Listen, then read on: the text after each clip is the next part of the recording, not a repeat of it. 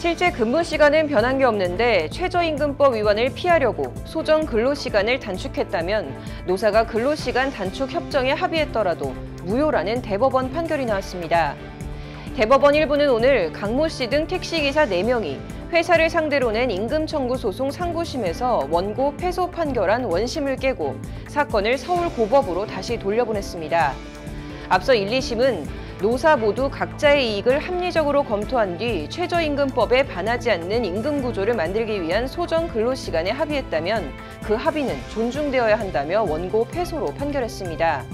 반면 대법원은 고정급이 최저임금에 미달하는 것을 회피할 목적으로 시간당 고정급을 외양상 증액시키기 위한 소정 근로시간 단축은 탈법 행위로 무효라고 판단했습니다.